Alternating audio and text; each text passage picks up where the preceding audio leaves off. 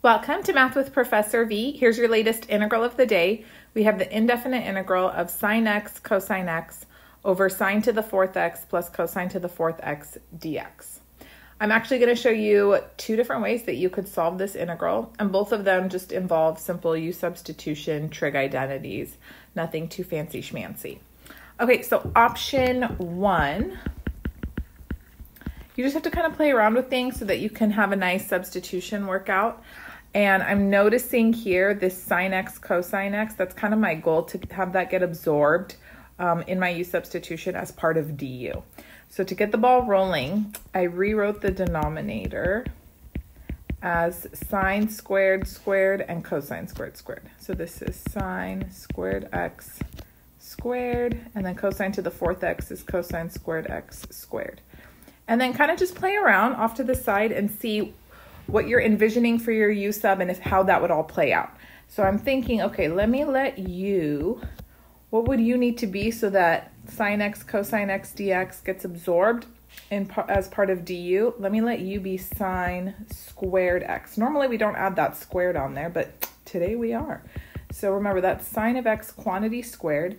When you find du, you need to apply the chain rule. So bring the 2 down front. That's 2 sine x times derivative of sine x, which is cosine x dx. Ooh, do you see how beautifully this is going to play out? There's sine x cosine x dx right there. So that means 1 half du sine x cosine x dx. Fabulous. Okay, and then u is sine squared x, so this is u squared.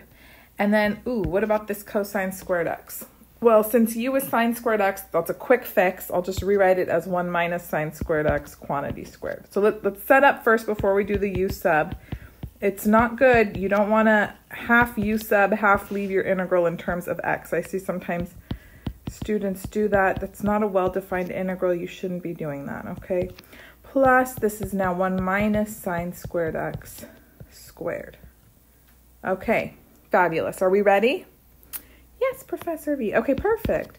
So all of this, sine x cosine x dx, that's 1 half du. Let me put the 1 half outside for right now, and then just du up here. Then we have sine squared squared, so that's just going to be u squared. And then be careful, this sine squared x is u. So then we have plus 1 minus u squared. Are we okay? All right, excellent. Now, let's multiply everything out in the denominator. 1 half du over, this is going to be u squared plus 1 minus 2u plus u squared. All right, so then this is 1 half integral du over 2u squared minus 2u plus 1. Does that factor? No. So then I think to myself, I'm going to need to complete the square. But, oh, having a 2u squared, it's not going to make it very nice. If I factor the 2 out, then that'll make that a 1u. I'm going to have fractions when I complete the square, and I'm getting a little stressed. We could do it, but it's just, it's not going to be so cute and clean. And then I see, oh my goodness, there's this 2 outside. That's part of the 1 half. If I just distribute it through, I won't have to stress about the fractions. So watch this.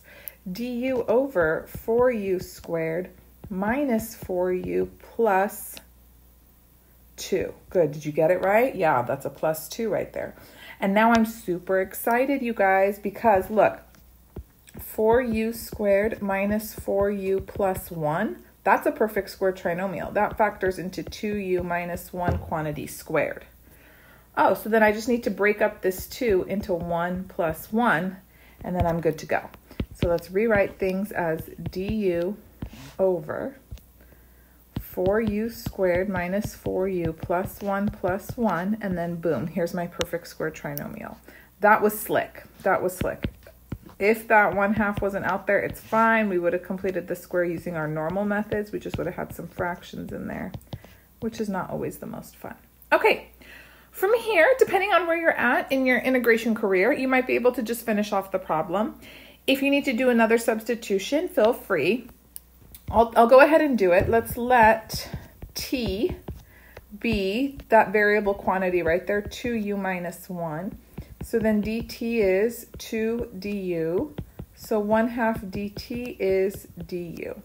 And then notice now we've got here 1 half integral dt over t squared plus 1. Do you recognize the antiderivative now? Oh, good. So this is 1 half tan inverse of t plus c, which is 1 half tan inverse of 2u minus 1 plus c. I want you to notice something so you could actually start just jumping straight to here in the future, okay? You have this variable quantity squared plus a constant squared. We know that's the form that we have when we are looking at antiderivative that results in tan inverse. Because of this 2, all that happened from the substitution is we pick up a 1 half in the antiderivative. So you, you can bypass all of this and just jump straight to here. Just keep that variable quantity intact, 2u minus 1. That's the argument of arctan. Okay, and then we're not done because remember our original integral was all in terms of x. u is sine squared x. So this is 1 half tan inverse 2 sine squared x minus 1 plus c. Okay, very good. I told you I had another option for you though, right? Okay, so option 2. I'll rewrite the original integral. We've got sine x cosine x over sine to the fourth x plus cosine to the fourth x dx.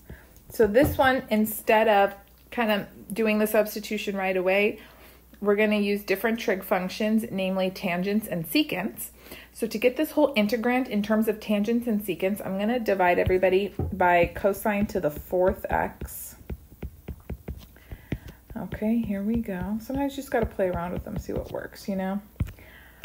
So here we go. In the numerator, I'm going to have sine x. That cosine x cancels, so it's over cosine cubed x.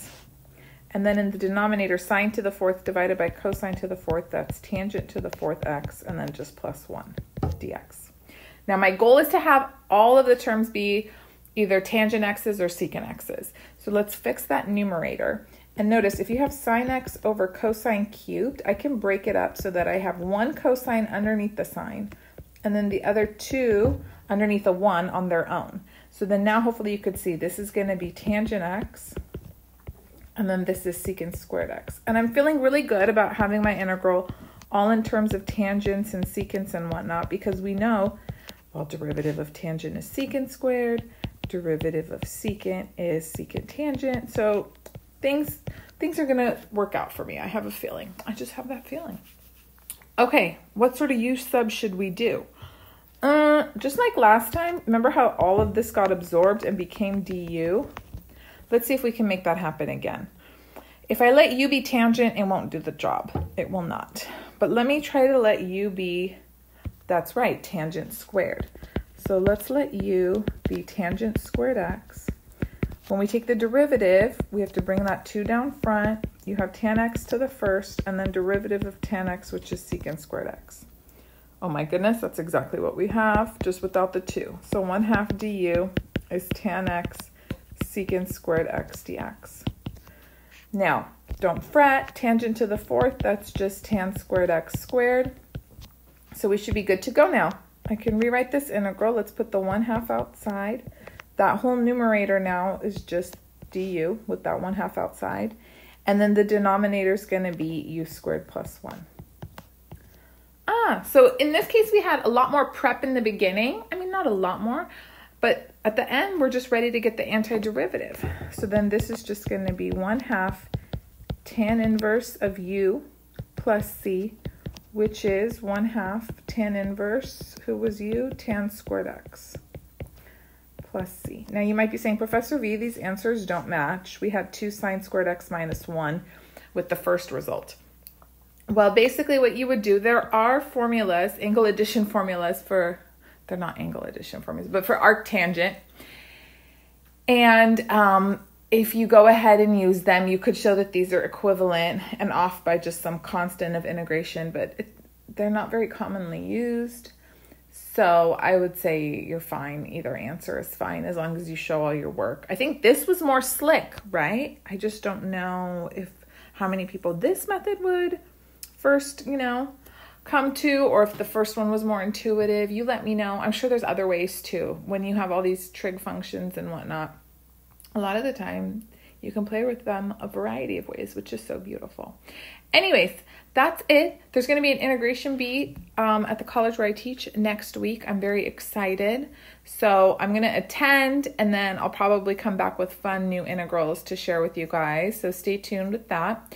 Let me know in the comments how you solved this. Don't forget to give the video a thumbs up. Subscribe, please. Please help share my channel so that it can grow and I can reach more students and help them. If you need to review any integration techniques or other topics in calculus, differential equations, even pre-calc, algebra, stats, then check out all my video lectures that are organized into playlists and follow me on Instagram, TikTok. I think that's everything. Okay, I love you guys so much. I'll be back soon. Bye.